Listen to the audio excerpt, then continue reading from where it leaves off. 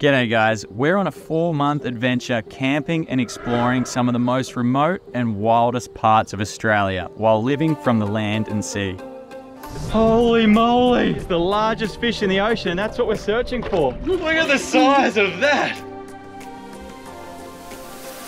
I can see sharks in the shallows here cruising around the perimeter of the sand cay. This is the time of the day that they love feeding.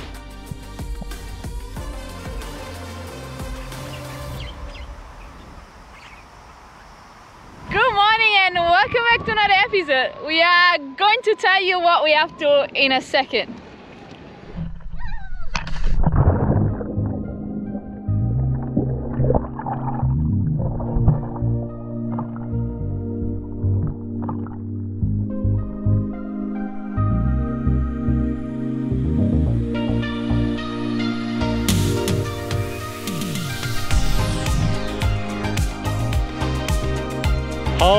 Check out these colors, guys. That water, the blue is incredible, the white sandy beaches. This is the part of the Great Barrier Reef we love, hey I know I'm pinching myself, but get excited with us guys because in this episode we are in search of the biggest fish in the ocean. Fingers crossed we can find him. This is gonna be exciting, guys. Let's get straight to it. Yeah, subscribe. Back to the boat? Back to the boat. Let's do it. So this group of islands, the watercolor here is just magic, hey? This place really is paradise. But we've only got time for a quick swim. We're gonna put the drone in the air and see if we spot any big animals. But we've actually got a lot of miles to go between here and where we're hoping to dive over the next couple of days. The wind's meant to be backing down and that gives us a chance to dive right out in the deep off the continental shelf. Hopefully that's where all the, uh, the bigger animals are.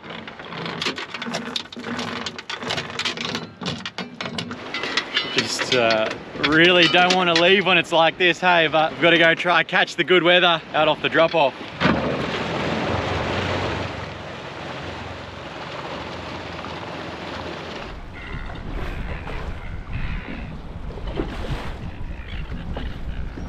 Hey Jack, what's that dark shadow over there?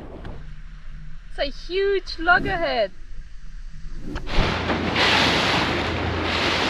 Jack just spotted some bait fish over here. I think it's gonna have a cast. There's all this ripple you see on the surface here.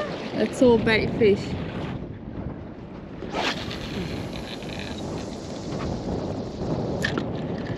Oh, what's this? Ooh, Big dark shadow. Is that a, maybe a shark, eh? is it a shark or a huge GT? A shark. Shark. shark. Oh, there's, oh, they're jumping everywhere. Ooh, Oh, something's chasing them there. quick! All right, get ready. Get ready. This is right into the strike zone. Look at them all. So much bait fish there. Surely there's something big. Oh, oh yeah! Yeah! Is he on it or not? No, he's dropped it. oh no! That was a nice GT, I think. Bummer. Oh, there's something behind. So, yep. Yeah! Oh, Oh, no! no. Flicked it He's off. on it, he's chasing it, he's chasing it. What the hell? Oh, they're on it, they're on it, on it. He's Oh, off, but yeah, there's yeah. something more chasing They're it. chasing. Oh! What a strike that was! He's, he's coming, come on. Come on, mate. No, oh, ready, ready, ready. Oh, Oh. What's going on, guys? All right, this is our last try, and then we're gonna jump in there. There's a big school of fusiliers here. Hopefully something is underneath them and hungry. Oh, they're just there as well. oh, look at them.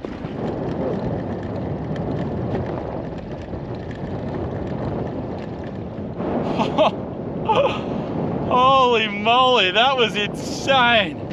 A big slicing mackerel, I think. Yeah, I reckon it is. Might come up the top deck there, Fran. Come up the top. Oh, don't lose this yet. Oh, it's very wobbly up here. We've got one, finally. Man, it's cool fishing from up the top here. It's, it's pretty big. Woo! Look at this. It's just a matter of time. That whole reef edge there has got so much bait fish that's getting chased. Oh! Holy moly! That was epic. It's a big Spanish mackerel. Yeah, yeah, yeah. Look at it. Oh, Ooh. look at the thing. Wow. It's pretty challenging from up here, eh? Whoa. We better get down to water level and try landing.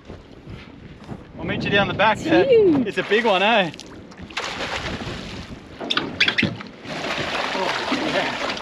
Whoa, holy moly! Wow. Look at the size of that. Oh, this is too big for us to eat, Fran. We're gonna have to get the hooks out. Oh, yeah. Oh, it's gonna spit it on me. What an absolute beauty. I'm gonna let him go. See you, mate. He's off. That was epic. I think it's time to throw a mask and snorkel on. Jump in there. There's a heap of action going on at the moment. Let's try and spear something a little bit more our size. And that's why we love spearfishing, because we can be very selective, right? That's right. Let's go do it. Land ahoy! Not much sand on this one. But this is us for tonight. We might jump in first to see if we can catch dinner and then we're gonna go set up camp. Hopefully we got enough sand. All right, the objective is now to spear some dinner and we're hoping to get a species that we haven't yet got on this trip. Reefs like this are generally home to lots of different species, so fingers crossed we can find a new one. Fran's just found some worms in her wetsuit. She's not having a good time. Where'd that come from? Some sort of insects must have laid eggs in my wetsuit. So disgusting.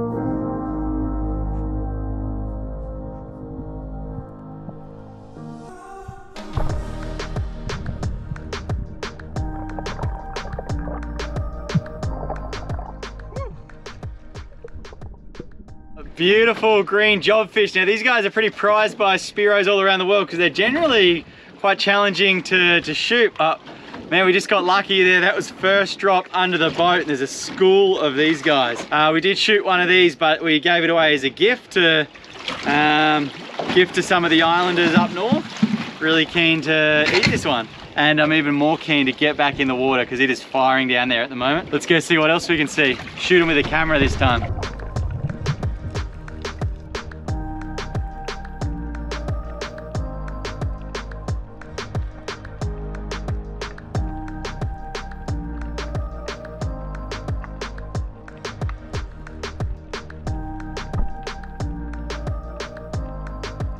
That place is a spearo's paradise down there. Big schools of green jobfish, coral trout everywhere. There's mackerels, trevallies, Maori wrasse. Like, oh wow, this is what we love about these remote trips. You find little secret spots like that where, man, it's just as good as it gets, hey? Amazing.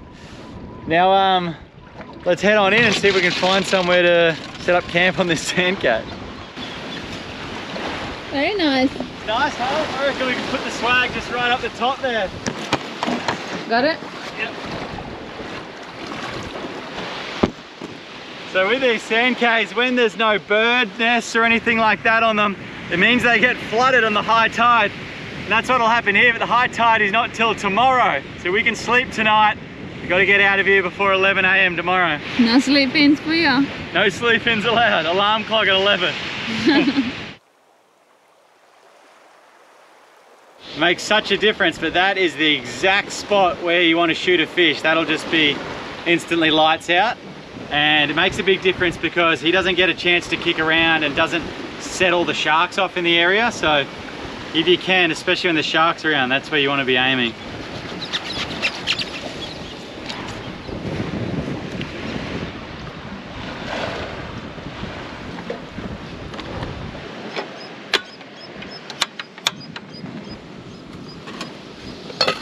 Alright, tonight in the Castaway Beach Kitchen, the most back to basic curry you'll ever make.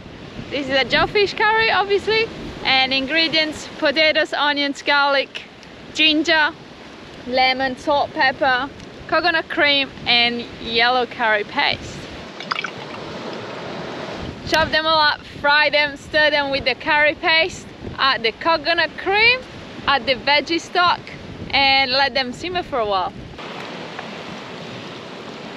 This is such an amazing spot, hey, that you just feel like quite literally surrounded by Mother Nature. So I could see sharks in the shallows here cruising around the perimeter of the sand cay. This is the time of the day that they love feeding. There's birds flying overhead. Uh, they won't be able to come and roost, but they might come and uh, rest their wings on this sand cay tonight. And there's turtles popping their heads up. What an amazing time of the day, hey? But don't go anywhere, guys, because tomorrow, man, we're really looking forward to tomorrow. We're meant to be having some nice weather and we are heading out off the continental shelf in search of some absolute giants of the deep. So stick with us guys, we'll uh, have a bit of a feed and then see you guys bright and early in the morning. For you. Yum, thank you. No worries. Amazing. Dinner and a show.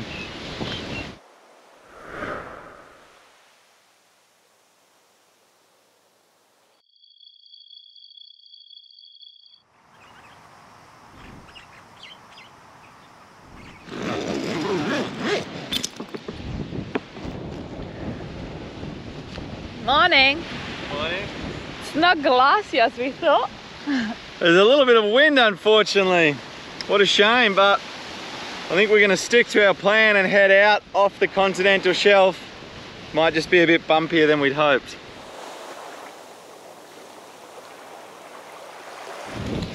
We are just about out of here. Unfortunately that wind's picking up more and more. Uh, we're gonna go for it and see how we go.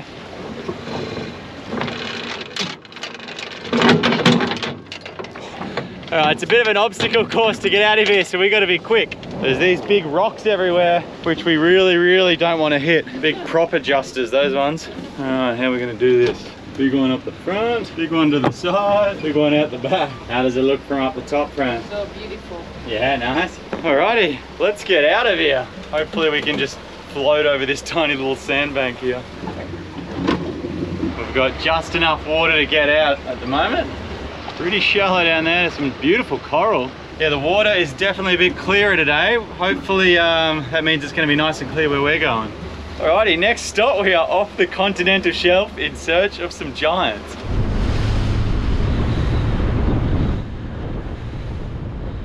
Holy moly! Oh, is that what just happened, Fran? You almost ran a whale shark over. No way. What are the chances? So we are just kind of arriving in the general area where we're hoping to get to. And Fran's like, stop, stop, stop, stop. I turn the motors off. And just right in front of the boat was a whale shark, which is the largest fish in the ocean. And that's what we're searching for. No way did we think we'd come across one straight away though. I think we might have scared that guy down, but we, we'll have to get the drone up in the air, Fran. What an amazing like start. So the area we're looking for these giant whale sharks out on the continental shelf is also home to our favorite fish, the dog-toothed tuna. Uh, I can't help it, we're gonna jump in on a couple of these spots and just see if there are doggies here. Um, let's see how we go.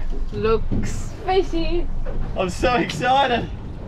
It's been a couple of months since we've had the chance to even look in an area where there might be a doggy. And also, the doggies like pressure points, which is probably where a whale shark would feed as well. Woo! Good luck.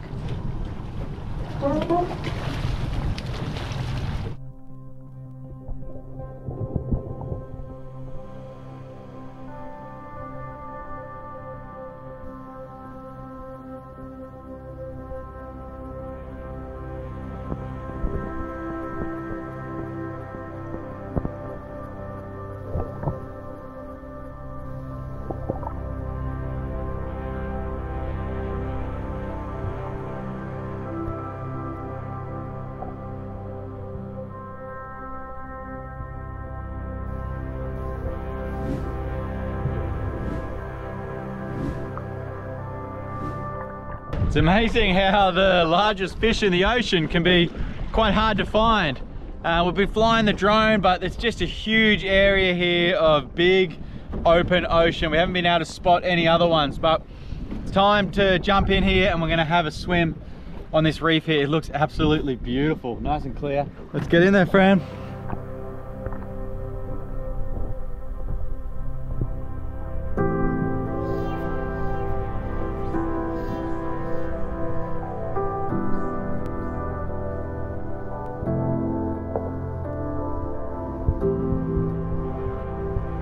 The sharks are super curious.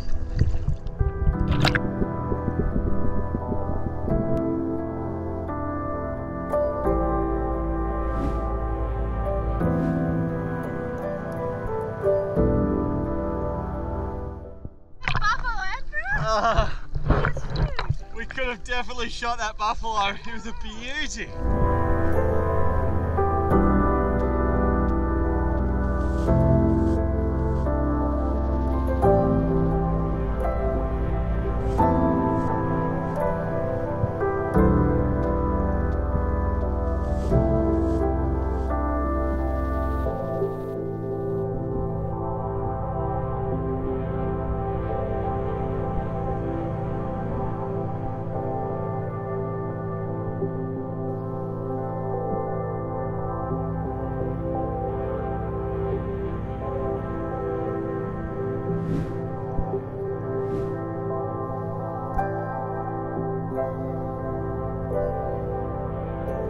That was that big coronation trout. Oh, know, it's so pretty. Uh, beautiful, hey? Oh, it's the prettiest I ever seen. Yeah, amazing. It's huge.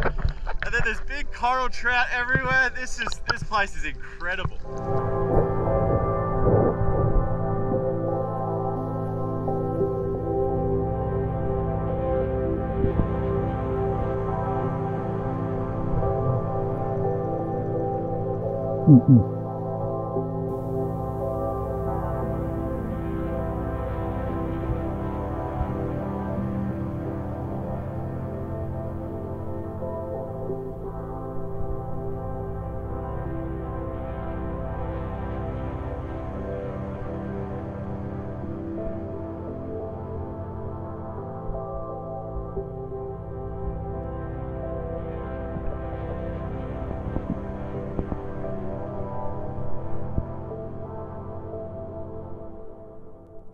The water is crystal clear.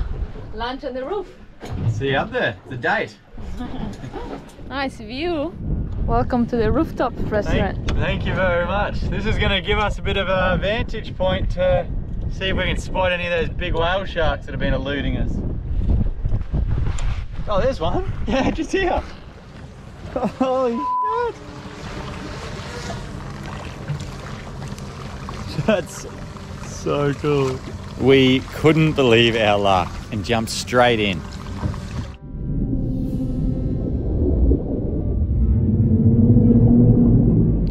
This gentle giant is called a whale shark, but interestingly, it's neither a whale nor a shark. They're actually the largest fish in the ocean. While their gigantic size can be pretty intimidating at first, they're super chilled and actually feed on the smallest critters in the ocean. Plankton that are so small we swim right past them without even noticing. But his big mouth makes sure he filters enough of these little guys for a feed. Rarely seen on this side of Australia, this was a pretty amazing encounter.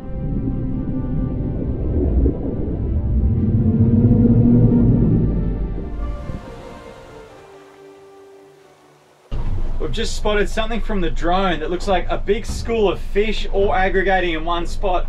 And I swear there's Maori sea perch in them. They're bright yellow and stand out. If this is uh, what I think it is, like a spawning aggregation with Maori sea perch involved, this will be epic. So I'm gonna zoom up there, Fran's getting her mask ready and we're gonna jump in and then film it and see what's going on.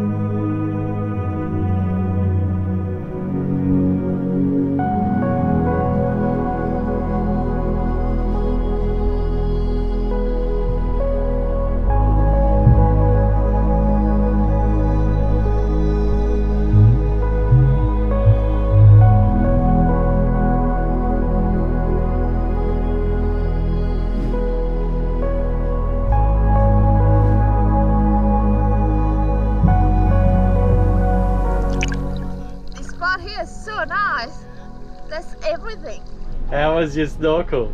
That was amazing. There was a big school of black and white snapper, which I think that's what Jack saw on the drone. And there were like GTs, trout, MSP all hiding in between the school of black and white snapper. Nice. It was um really Amazing, good. eh? Yeah. Good stuff. Feeling like ceviche for dinner for sunset. Nice. A raw fish never hurt. No way, Fran.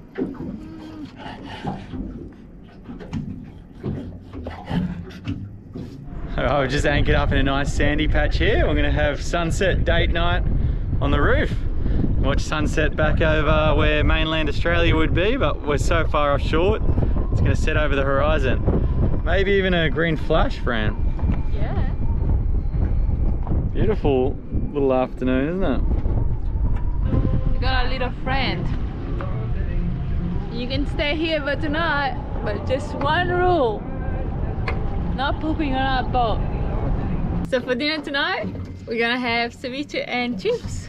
Yum yum and guys what an amazing day hey so Yeah. it's days like this which are the reason we do these long four month trips to come and explore come and explore places like this amazing hey Yeah, so thanks so much for coming along and we'll see you next Sunday. see you bright and early in the morning guys plenty more to come